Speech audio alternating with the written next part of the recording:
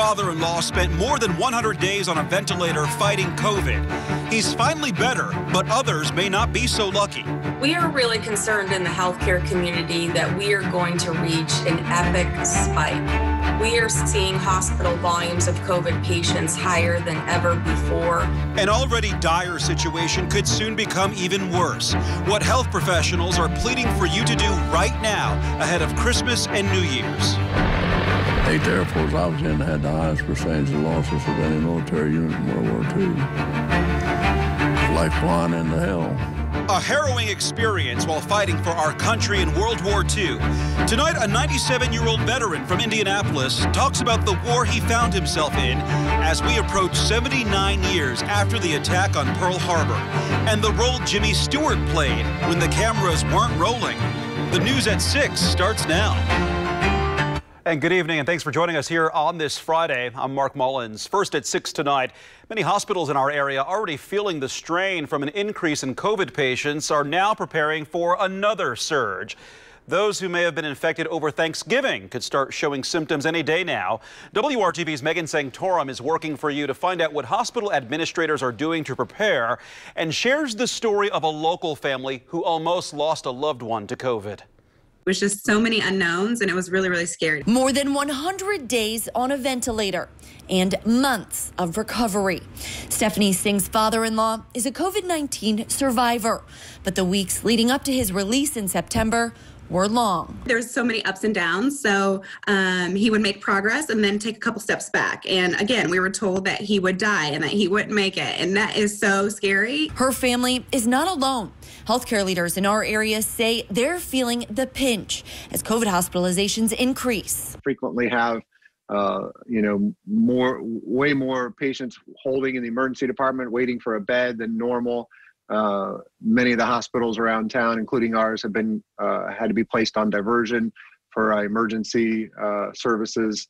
Uh, off and on over the last couple weeks. The vice president of medical affairs at Franciscan Health says the worst could be yet to come. Probably still a little early from when we would expect to see uh, the additive effect of Thanksgiving on top of what we're already experiencing. The chief of medicine at Eskenazi Health saying the same thing. We are anticipating more patients coming in post Thanksgiving. Uh, that can be anywhere from seven up to two weeks after the holiday before we would expect to see that. We've been preparing for weeks with flexing beds to make them more ICU capable. We are making sure we have staff on hand and ready. Doing everything they can, hoping those who do come in recover like Singh. The week of Thanksgiving, um, he got in the driver's seat and he drove us home. Three months ago, he was not breathing on his own. Ago he was not walking his own and now he's behind a driver's seat you know and that that was just so amazing. But she knows not everyone is as lucky. Try to do everything you can to keep your family your loved ones and yourself safe because you don't want to be in the situation we were in you know? Um, there's a lot of guilt when you when you may have been the reason one of your family members got covid and i'm um, not father-in-law for five months being told he was going to die was really really scary just don't be that family you know working for you megan sanctorum wrtv Indiana, along with much of the country, is already dealing with record breaking COVID 19 numbers, a very high amount of new cases and new deaths. And like you just heard, we still don't know the true impact the Thanksgiving holiday will have on people in Indiana. And now we're approaching Christmas, Hanukkah, and New Year's, very common times for get togethers. We spoke to the nursing director of infection prevention at IU Health, Kristen Kelly, and she talks about what is most concerning to many healthcare workers right now and what you should be doing to protect yourself and others. Um, the thing that has us most concerned is we didn't have a lull over Thanksgiving. We had continued to rise every day before Thanksgiving, through Thanksgiving, and after. And now we are seeing record numbers of cases and deaths. This is going to be a tough time for us this month. It is a good time for us to hunker down. Um, I have not really stated that as much as I have lately, but the numbers are really, really concerning. We want to lay low during this month because there are so many people infected with COVID that your chances of going out and getting it are very high right now. Kelly says you need to always wear a mask and practice social distancing when you're out. Wash your hands often. And this is a popular time for holiday shopping. She says go to stores at hours when you know that there won't be most crowded. And when you're there, always wear your mask and keep it over your nose and mouth. Seven a dozen additional COVID 19 related deaths in Indiana, and for the second straight day, more than 8,000 additional cases.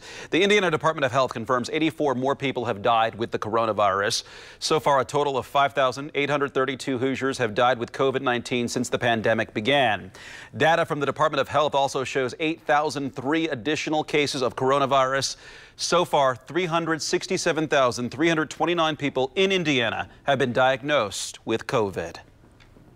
Well, we've had a pretty nice day today. We're just starting to see that sunset across Indianapolis, a beautiful sunset, a little bit of cloud coverage starting to filter in. We're going to continue to see some cloudy skies this evening before they clear out overnight. 42 right now in Indianapolis, 45 in Muncie. Some areas hit the 50s today, so about 10 degrees above average. What's going on is we have cold air that's going to filter in as we head overnight. We had this disturbance that moved through to the south of Indiana earlier today, but all that did was bring us some cloud coverage, which we are seeing right now across central Indiana. This evening, we'll start to see those clouds filter out by about 9 or 10 p.m. That's when we're going to start to really cool down. By tomorrow morning, we'll be into the 20s. I'll have your full weekend forecast coming up.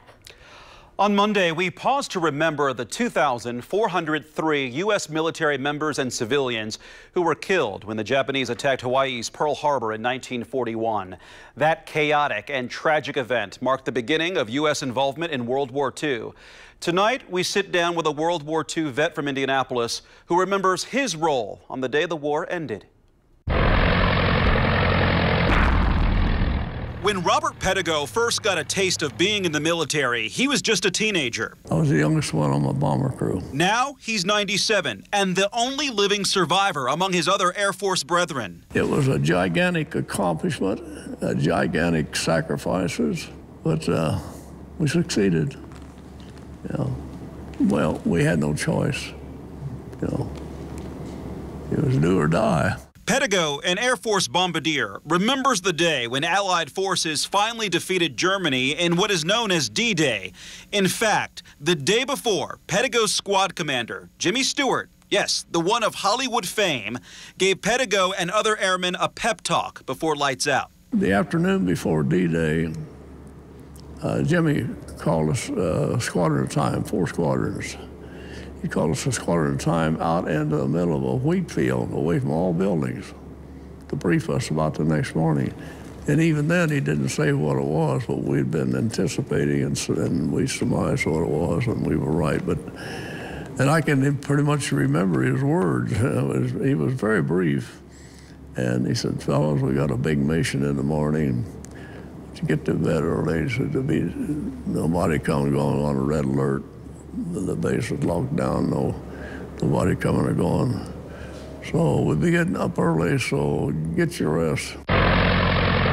Morning came early at 2.30 a.m. the next day, D-Day. And Pedigo was one of the first up in the air, part of an air assault over Germany. It was my easiest mission, but we lost 12,000 men that day on the beaches. And had it not been for all the bombing we did, we had uh, we had Germany uh, bombs to the, to the smithereens of the ground before the invasion, so actually D-Day was ready for a mop-up. The U.S. had resisted entering the war, but after the devastation and loss of American lives at Pearl Harbor, the U.S. involvement was inevitable. Pedigo, a treasure himself with spoken word history, wants generations now and in the future to never forget the lives lost and those who gave up so much to end a war. Well, how, how great the sacrifices were to stop it, end it, win it. They, uh, Eighth Air Force I was in had the highest percentage of losses of any military unit in World War II. It was like flying into hell. Pedigo speaks from experience when he refers to hell. You see that he survived 30 air battles over Germany. He's 97 now, but the Indianapolis native finally received his diploma from Arsenal Tech High School at the age of 93. COVID 19 has forced many Hoosiers into unemployment as some jobs are disappearing, but a career in coding and technology is holding steady. We'll show you how you can get started and maybe find yourself in a new line of work. Can the IU football team keep pace with the Big Ten's best? They'll have to try with a new quarterback this weekend. We have the game Saturday on WRTV, and Brad Brown will have a preview coming up in sports here. And we had a beautiful and unseasonably warm day today. Temperatures hit the low 50s across the area, but we do have a big cool down as we head into the weekend. We're dropping into the 40s, possibly even the 30s in some areas, so get ready for that. We'll have all the details coming up next. If you're watching the news at 6, we'll be right back.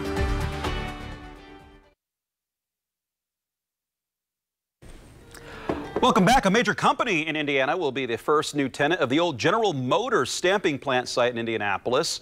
Elanco Animal Health says it will move its global headquarters from Greenfield to the 45-acre site on the southwest corner of downtown. That site has been vacant since GM closed the stamping plant in 2011. Elanco spun off from Eli Lilly last year and makes products to treat diseases in farm animals and pets. Elanco says the move will help it retain more than 1,600 jobs and create up to 575 new jobs over the next decade. The company's headquarters will remain in Greenfield until the new site is completed in the next two to three years. An Indianapolis nonprofit coding academy had to find new ways to function when the pandemic hit. COVID-19 forced 1150 Academy to close its physical doors and give their lessons online. While many Hoosiers are facing unemployment and job changes, Amanda Starrantino shows us how a career in coding and technology remains stable and easily accessible. I definitely feared for my job, uh, just like anybody else would um, in the middle of a pandemic. That has been the reality for millions of people this year, many being forced into unemployment and others who choose a more stable career path. 23 year old Severa Cox was working as a general manager at a national fast food chain.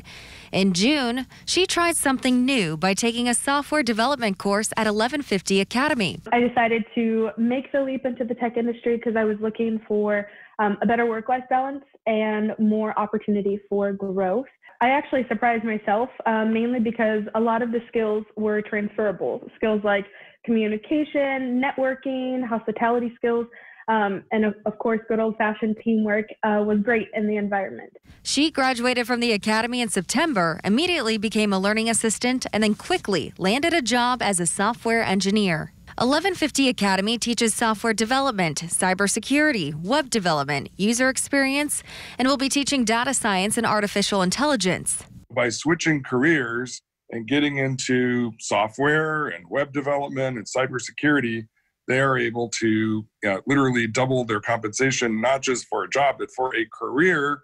And what we find is that people find a high level of satisfaction in these careers. 1150 switched to a virtual platform for health and safety and delivered second monitors to all of their students so they could still have an immersive experience in their courses. And with unemployment rates surging, this is a small commitment for something that can lead you onto a stable career path, no matter your background. 90 days, we can literally bring you from wherever you are as a bartender or wait staff or truck driver whatever you are and bring you if you if you are interested in in and passionate about tech and problem solving and you know puzzles that sort of thing then you'll probably resonate really well with what we teach in 90 days. You know, our average starting salary is in the high 50s and after the first year people are getting you know and and second year 20% raises so many of our people that are out two or three years are in the 80s, 90s, even six digits. And that is transformational for people's lives. That's why we are about this. Transform people's lives, give them more opportunities. Working for you in Indianapolis, Amanda Starrantino, WRTV News. 1150 offers intro classes every other week to allow you to try it out before committing for 12 weeks. Hoosier veterans are also encouraged to try 1150 Academy. The company partnered with the U.S. Chamber of Commerce Foundation and its Hiring Hero, excuse me, Hiring Our Heroes campaign to offer fully paid schooling for veterans with the GI Bill. As the pandemic continues and cases of COVID-19 rise, local restaurants that are in desperate need of your support this holiday season are committing to keep you and your family safe. A month-long campaign called Dine Safe December is aiming to re-educate customers on the Hoosier Hospitality Promise. As part of the commitment, hundreds of businesses from the hospitality and restaurant industry are promising to follow safety guidelines from the CDC as well as local and state governments. It launched back in April when restaurants first reopened. But Dine Safe December is a reminder of everything restaurants are doing, including spacing out tables six feet, employees wearing masks, and sanitation practices. The ultimate goal of the new campaign is to encourage Hoosiers to let restaurants do the cooking this holiday season, whether it's dining in or getting carry out. Restaurants at this time aren't seeing any holiday parties, no holiday catering. Uh, there's no office lunch. There's no uh, office cocktail reception. So we're not seeing that type of business. Uh, we also have seen in the month of November, with each week, a declining customer um, uh, foot traffic and also uh, uh, revenue. Your traditional sit down, family dining, independent restaurant is being absolutely obliterated.